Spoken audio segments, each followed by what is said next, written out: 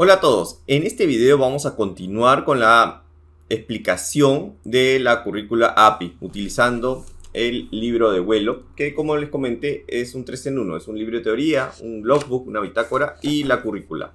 En esta oportunidad vamos a ver el segundo punto que es mecánica de vuelo que lo conforman los temas eh, siguientes, cómo vuelo en parapente, límites de vuelo, plegadas, pérdidas, tres ejes de rotación, cabeceo, alaveo y guiñada. Vamos a empezar con lo primero. ¿Por qué vuela un parapente o cómo vuela un parapente?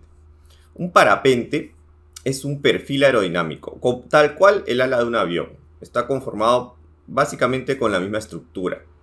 Es como una gota horizontal. Este perfil aerodinámico lo que hace es crear una diferencia de presiones, que a su vez genera una fuerza llamada sustentación.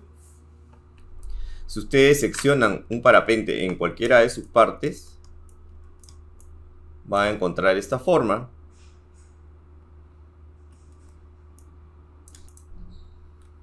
Este es un perfil aerodinámico. Y como les mencioné, el perfil aerodinámico genera presiones a lo largo de este. Recordemos las partes del parapente. La parte de arriba se llama extra 2, la parte de abajo intra 2, la parte de adelante frontal donde van las celdas, borde de ataque, y la parte de atrás donde va el freno, el borde de fuga. Estas fuerzas de sustentación se generan a lo largo de todo el parapente.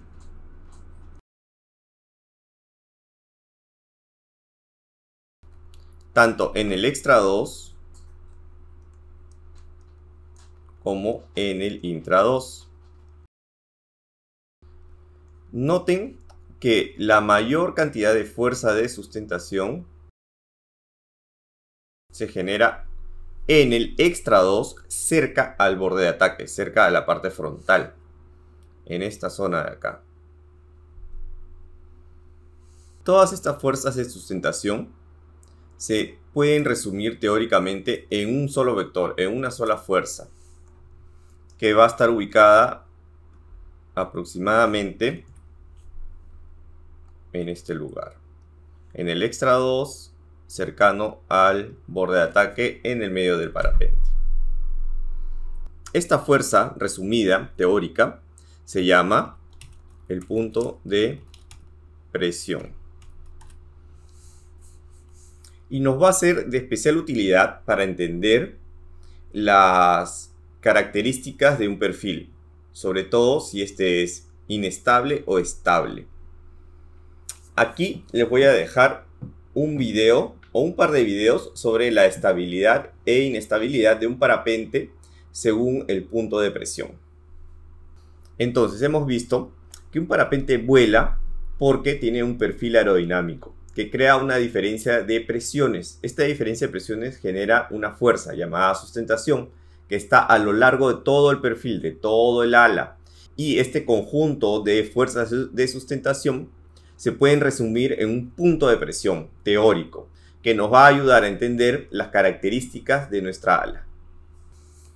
Límites en el vuelo. Nuestro principal límite de vuelo va a ser el frenado que podamos hacer. Cuando nosotros frenamos la vela, lo que vamos a hacer es incrementar el ángulo de ataque. Este ángulo conformado por la trayectoria de vuelo y nuestro ángulo de ataque se va a ver incrementado cuanto más frenemos. Es decir, si frenamos más la vela, nuestro ángulo de ataque se incrementará. Pero eso tiene un límite. Si nosotros frenamos al 100%, es decir, con todos nuestros brazos extendidos hacia abajo, el ángulo de ataque va a ser demasiado y el parapente va a dejar de generar sustentación, va a entrar en pérdida o en stall. Entonces nuestro primer límite es el frenado. Nunca debemos frenar al 100%, salvo estemos haciendo el flare, estemos aterrizando. En el parapente hay tres velocidades marcadas. La velocidad máxima, que es cuando estamos manos arriba y acelerados la velocidad trim o la velocidad crucero, que es cuando tenemos las manos arriba, sin nada de frenado, que usualmente en esta velocidad vamos a encontrar la mejor performance de nuestro parapente y eh, la mayor estabilidad de este. Y la velocidad mínima, que es cuando frenamos al 100% y que va a ser justo antes de entrar en pérdida.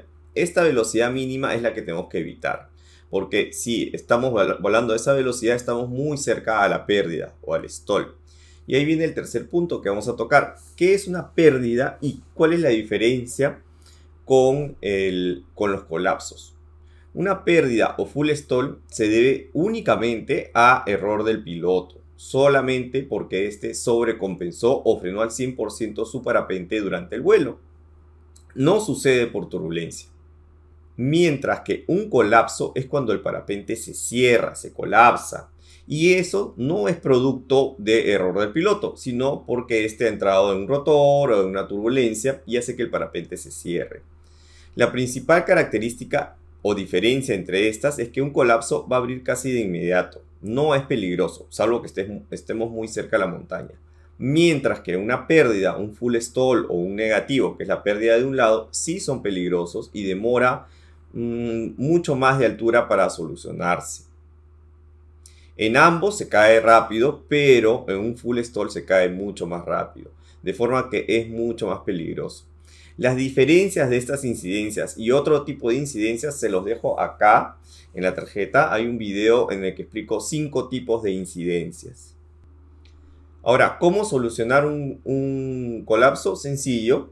Eh, vamos a tirar el cuerpo al lado opuesto para evitar que el parapente gire. Podemos usar un poco de freno, sí, un poquito de freno también al lado opuesto del colapso, pero sin exagerar. Mientras que para solucionar un full stall sí requiere mayor pericia del piloto, requiere más altura también. Eh, usualmente se aprende cómo salir de una pérdida en un curso especializado SIV. Pero básicamente es subir las manos, pero con la velocidad y en el tiempo correcto. Porque si subimos las manos rápidamente, podemos ocasionar que el parapente se dispare hacia adelante y podemos tener problemas subsecuentes. Dejo acá en la tarjeta de videos un video de cómo solucionar un colapso. Para que entiendan gráficamente, este, si este es el borde frontal de mi parapente, cuando yo tengo un colapso, el parapente se va a cerrar, usualmente de un lado, una plegada asimétrica. También existen plegadas simétricas o frontales, pero son menos comunes. Lo normal es que se cierre un lado. Este es un colapso y se produce por turbulencia. Mientras que una pérdida es cuando el piloto ha frenado al 100% y produce que el ángulo de ataque sea muy alto. Al ser el ángulo de ataque muy elevado, el parapente pierde sustentación, deja de volar y por lo tanto se desploma, cae muy rápido. Por último, tres ejes de rotación. El parapente va a rotar en tres ejes. El eje horizontal, que podemos fijarlo, miren, una línea horizontal imaginaria. ¿Y qué es lo que va a hacer este parapente? Este movimiento. Este movimiento se llama cabeceo. Recuerden, eje horizontal. Luego va a rotar en el eje vertical. Trazamos una línea imaginaria acá, un eje vertical. Y lo que va a hacer el parapente es este movimiento, que se llama guiñada. Y por último tenemos el eje longitudinal. Vamos a voltear el parapente de costadito y hacemos un eje longitudinal. Imaginamos una línea acá. ¿Cuál va a ser el movimiento a través de este eje? Este tipo. Que se llama penduleo o alabeo. Algunos lo conocen como winover, que es la maniobra que utiliza el penduleo. Ahora, la guiñada, este movimiento de acá, no es muy común durante el vuelo, tampoco hay mucho que hacer, se soluciona casi automático. Yo he visto este tipo de movimiento de guiñada, usualmente en alumnos que se sientan en el arnés muy bruscamente y hacen que el parapente empiece a hacer esto unos segundos. En turbulencia también se puede sentir ligeramente una guiñada, pero es irrelevante. Si nos pasa esto en el, en el vuelo, ya sea porque nos hemos movido para sentarnos muy bruscamente o estamos en turbulencia, lo único que podemos hacer es girar, hacer un viraje y salir de esa zona de turbulencia, subir las manos, esperar a que el parapente se estabilice solo, o hacer un frenado de un 30-40%, esperar un segundo y luego levantar las manos, como reseteando el parapente. Pero como les dije, este movimiento no implica mayor riesgo ni es necesario aplicar mayores técnicas. Tampoco es muy común.